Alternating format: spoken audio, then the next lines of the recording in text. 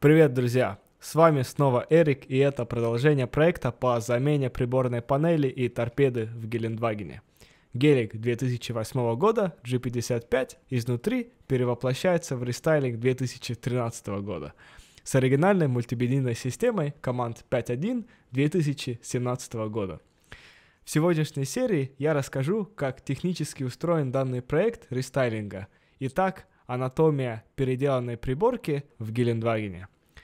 Начну я, пожалуй, с аналогии, которая на первый взгляд может показаться немного странной, но думаю, она всем будет очень понятна. Архитектура автомобиля довольно много позаимствовала от анатомии живых существ. В нашем теле система кровообращения через сердце питает все наши органы. Разные агрегаты автомобиля ни в лейкоцидах, тромбоцидах и эритроцидах, конечно, не нуждаются. Они питаются постоянным током от аккумулятора, который подведен ко всем узлам, словно по венозно-артериальной системе, проходящей по всему автомобилю. Подобно нашему мозгу, а вернее двум основным, головному и спинному, связанными центральной нервной системой, в автомобиле вычислительный процесс и обработка сигналов осуществляется в электронных блоках управления, которых в современных машинах очень много, и они связаны разного рода шинами передачи данных и электронных сигналов. Друг от друга эти шины передачи данных отличаются существенно, конечно, тем, как упакованы сами данные в сообщениях, а также и в физическом плане, например, простейший однопроводной протокол, витая пара, оптоволоконный кабель и так далее.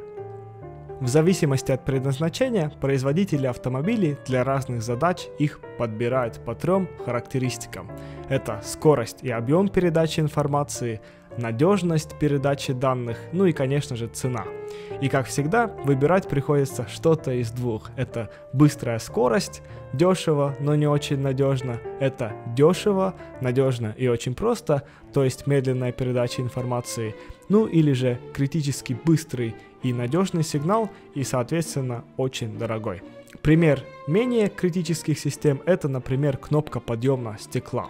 Для него используется протокол LIN, простейшая однопроводная система с максимальной скоростью 19 килобит в секунду. И это для подъема стекла, прибавления звука или там изменения температуры климат-контроля вполне достаточно. А, например, для самых критических систем подходит протокол FlexRay. Это коммуникационная шина, разработанная для обеспечения высоких скоростей передачи данных и отказоустойчивости. Эта шина позиционируется именно для жизненно важных систем электромеханического управления типа Drive-by-Wire, например, Steer-by-Wire, электронное рулевое управление, Brake-by-Wire, электронное управление тормозами, ну и с рядом систем безопасности, которые спасают жизнь водителей и пассажиров в критических ситуациях. Его скорость 10 тысяч килобит в секунду, то есть более чем в 500 раз быстрее, чем Лин, потому что в экстренной ситуации каждая лишняя доля секунды может быть вопросом жизни и смерти. Цена коммуникационных систем определяется физическими характеристиками используемых проводов, также требованиями к процессорам обработки данных, ну и стоимости лицензирования. Например, за использование CAN bus производители платят гонорар компании Bosch – к сведению, цена достигает 10 евроцентов за узел, и на современную машину таких узлов набирается десятки, если не сотни. Может показаться, что это не так много и не так дорого, но в год производится около 80 миллионов машин и во всех используется канбас. Для переделки торпеды Геленвагена как раз и придется реализовать модификации в лин и кан шинах старого гелика, так как версия этих шин на Гелендвагене старого образца несовместима с компонентами более нового типа. Представим два Гелендвагена G63 2017 года и G55 2008 года. Их салоны отличаются, и задача владельца 55-го внедрить в свой гелик торпеду нового образца. Что для этого придется сделать? Для начала давайте посмотрим, как системы устроены в стоке. По машине идет CAN или IN шина, архитектура этих сетей передачи информации иерархическая, у сетей есть подсети, есть мастера и слейвы, но не будем вдаваться в подробности. Главное, что узлы приборной панели этими сетями между собой связаны. Например, есть многофункциональный руль, и контроллер кнопок на руле передает информацию о нажатиях на эти кнопки по лин-шине. А вот у приборки несколько соединений по кан-шине. А вот и наша центральная консоль. Ее разные элементы связаны по-разному. Команд связан по кан-шине, между командами и дисплеем там какая-то своя тема. Ну а OBF панель и блок климата связаны по лин-шине. А на Геленвагене 2008 года принцип схожий. Руль по лин-шине, приборка по кан, ну и в центральной консоли тоже магнитола по канбасу, а OBF панель и блок климата по лин. Но если просто скоммутировать новые узлы в старый гелик, ничего не заработает. Версии и формат сообщений несовместимы, будет только куча системных ошибок. Для переделки торпеда первым делом удаляем все ненужное. Новые узлы придется внедрять в сборе со своей эмулированной CAN и LIN шиной. Эти элементы должны себя ощущать как в родной машине для того, чтобы они работали исправно. Ну и поскольку эта система должна быть связана с остальной машиной, например, с электронным блоком управления двигателя для вывода информации о скорости и оборотах на приборную панель, нужно привязаться к родной коншине старого гелика. Но опять же, эти сети несовместимы и так просто провода не протянешь. Для этого нам нужен специальный магический девайс, который преобразовывает сигналы и совмещает две шины данных разных поколений в одну единую экосистему. Получается, что внутри нашего переделанного Гелендвагена две электронных души. Старая, добрая, родная и новая, на которой основана вся мультимедийная и информативная система. Иными словами, торпеда от более нового гелика. Ну что ж, Привет всем! Сегодня мы будем разбираться с установкой команда 5.1 2017 года в старый Mercedes Gelenwagen. Но перед тем, как мы залезем в машину, давайте соберем комплект установки на столе. Как парашютисты перед первым прыжком сначала тренируются на суше, то и мы можем здесь подготовиться и разобраться все, как будет соединяться, потому что здесь на столе вся проводка будет э, видна и понятна. Потом уже в машине там уже будет непонятно, куда и как что идет. Поэтому я все расскажу и объясню, как это вживляется в старый Mercedes Gelenwagen 2008 года. Ну или в любой Gelenwagen с 2001 по 2012 год. Вот. Ну а на оригинальных компонентах Mercedes мы уже останавливаться не будем, потому что об этом был отдельный видос, и там это все показано и объяснено. Поэтому на этом видео мы уже подключаемся и рассматриваем проводку. Так что давайте разложим. Сразу же прикрутим э, OBF панель к магнитофону.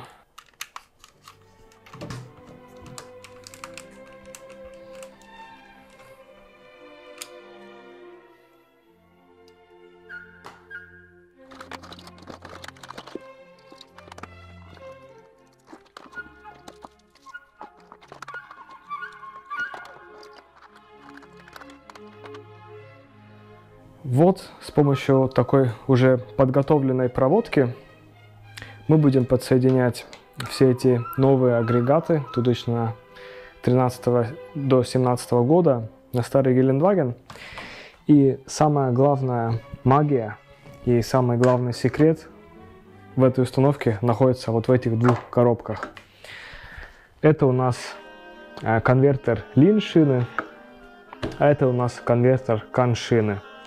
С помощью него мы будем конвертировать сигналы, которые используют новые приборы, в сигналы, понятные для старого Гелендвагена. И наоборот тоже. Сигналы, которые использует электроника старого Гелендвагена, будут конвертироваться в этих коробочках, э, например, для того, чтобы можно было всем управлять с вот этих разных кнопок, чтобы можно было передавать из машины информацию на приборную панель, на монитор и так далее. То есть, как я говорил в прошлом видео, вы можете собрать сами свой комплект, посмотреть парт-коды а, в описании прошлого видео на приборную панель, на магнитолу, на OBF панель, на кнопки, которые, кстати, здесь сейчас даже роли не играют. Вот этот весь комплект можете, например, на eBay купить, и тогда для установки вам будет не хватать только вот этих двух коробочек, и вот эту коробочку нам нужно будет самим сделать еще, тоже все покажу. Ну и, конечно, под это все кастомизированную специальную проводку, чтобы это оживить а, в прошлую машину. Вот эти LIN и CAN Converter, их оболочка и техническая начинка от компании Car Systems Wow, украинская очень крутая компания, которая взламывает техническую часть разных премиальных э, автомарок и делает э, электронику для разных ретрофиттингов, для оснащений, для технического рестайлинга, так скажем. Но Геленвагены – это тема слишком узкопрофильная, поэтому они сами программное обеспечение для того, чтобы это все включить, не делали. Но зато на их технической основе это сделали мастера из России. Большой привет Сергею Миронову и его коллегам за проделанный труд, потому что теперь у нас тоже есть возможность делать такие проекты. Они сделали программное обеспечение, которое связывает новые приборы со старой системой Гелендвагена. И у них есть рекламные агенты, которые продают их разработки. Я свой комплект купил в московской компании Mercedes Moscow, ссылка в описании. Самая ценная часть реализации всего этого проекта таится как раз внутри этих коробок. Вы можете к этой компании обратиться. Если у вас уже есть комплект всего этого, можете сказать, вот у меня все готово, только нужно э, докупить вот эти конвертеры и проводку, чтобы вам самим ее не делать. И они вам с этим помогут.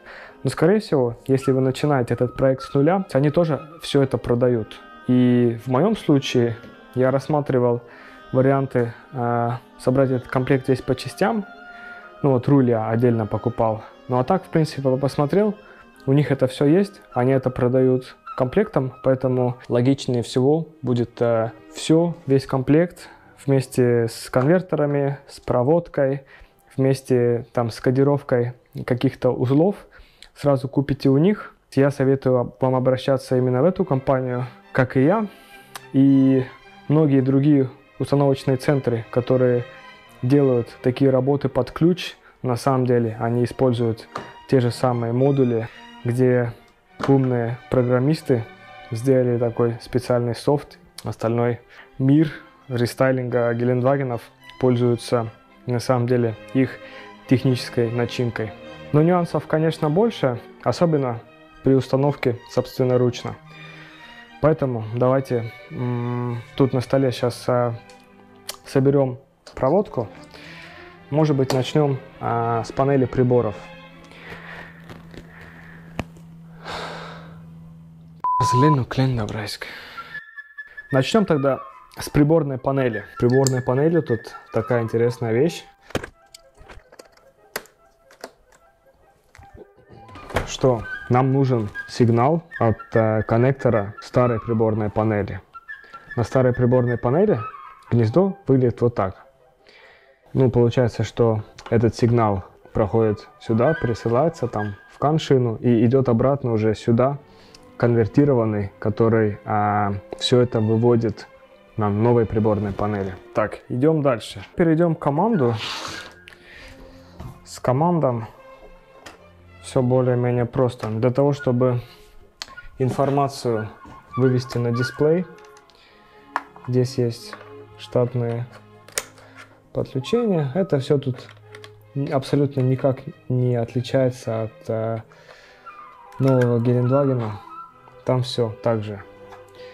Это подключили. И теперь подключаемся уже к команду соединения дисплея. Так, ну вот мы подключили и команд, и дисплей. Теперь для того, чтобы управлять командом, у нас еще подсоединение к джойстику. Ну, логично, да? И, ну, и здесь еще у нас есть сигнал, который идет на лин-шину. Это центральный замок. Потому что на старом Гелендвагене кнопка центрального замка на старой ОБФ панели, на новой такой кнопки нету, поэтому мы ее реализуем отдельно. Ну и вот для нее подсветка просто к соседней э, кнопке подсоединяется, она у нас начинает гореть. Для того, чтобы у нас заработала ОБФ панель, тоже абсолютно штатный штекер реализован для нее.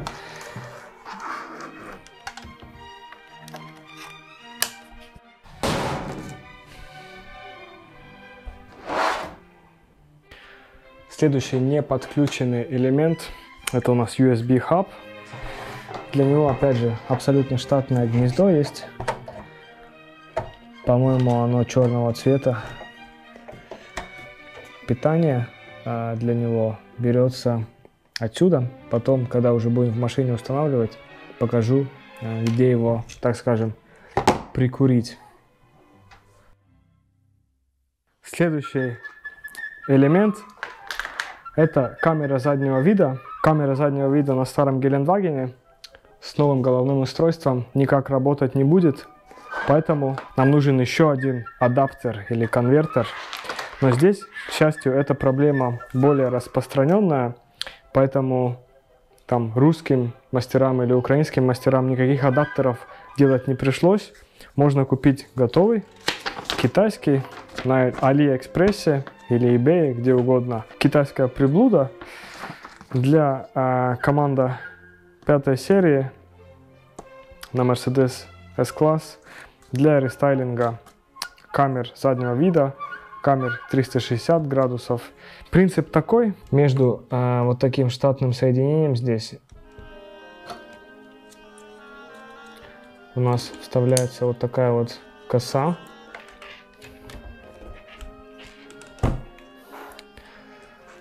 От нее мы подключаемся к адаптеру.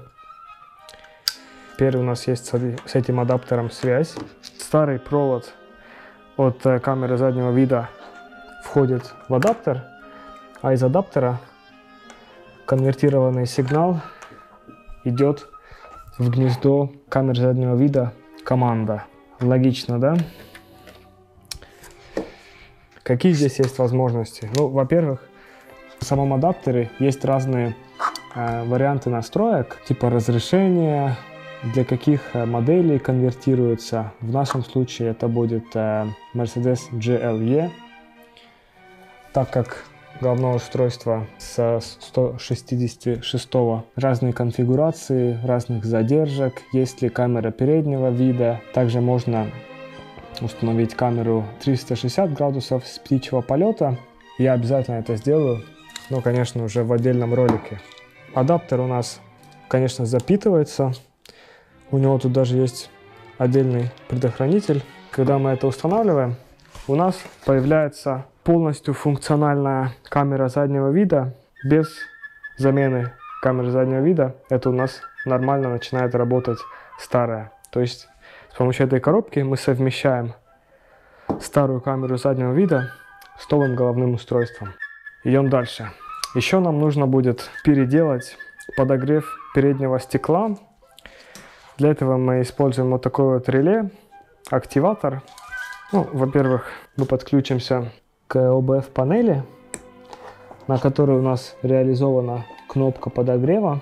И теперь соединяемся с массой, с питанием от зажигания, с постоянным питанием. Это у нас получается выход на реле подогрева лобового стекла. Если раньше это работало через старую систему, и вместо того, чтобы как-то конвертировать какие-то сигналы, здесь мы это реализуем так, что с помощью этого активатора и новой кнопки на новой э, OBF панели мы будем сами просто щелкать вне старой системы, так скажем, реле подогрева переднего стекла. Этот провод пойдет в бардачок, э, над которым находится реле. Эти дела уже буду показывать, когда мы будем в машине. И вот теперь у нас не так много осталось э, разных э, неподсоединенных проводов.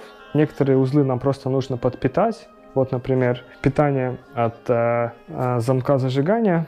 Потом у нас, поскольку у нас имеются кнопки вентиляции сидений. У нас есть э, аналоговое управление. Можно добавить сиденья с вентиляцией, или если они у вас уже установлены, то можно будет ими управлять. Так, есть еще одна интересная модификация. Она похожа на ту, которую мы делали с э, подогревом лобового стекла. Нам еще нужно будет отдельный провод провести на реле сигнала, потому что у нас будет новый руль. Что здесь нужно будет перепаивать рулевую рейку. Будет интересно.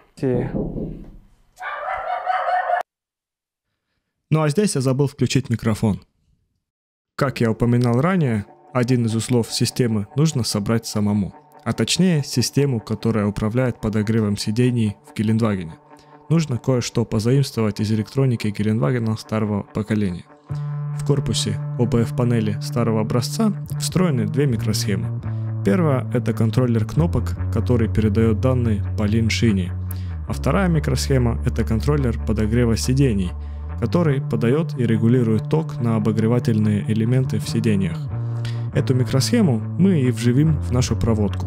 В результате панель кнопок нового образца будет управлять подогревом сидений старого типа, как на Гелендвагенах до 2012 года.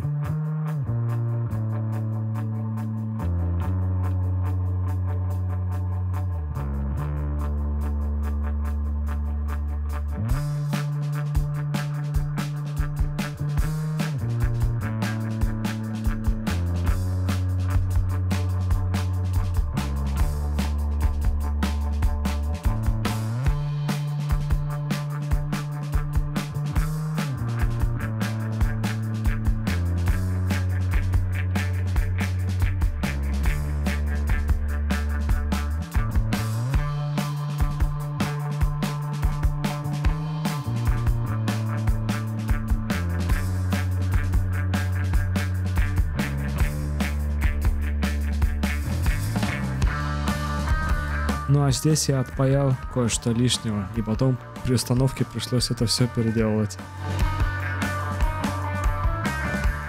А теперь подсоединяем старый контроллер подогрева сидений к нашей новой проводке. Коннектор тут уже подготовлен.